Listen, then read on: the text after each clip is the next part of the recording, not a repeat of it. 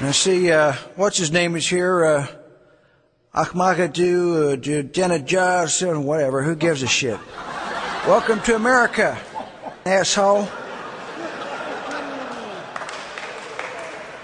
Why don't you come up here and talk some shit to my face? I didn't think so. Pussy.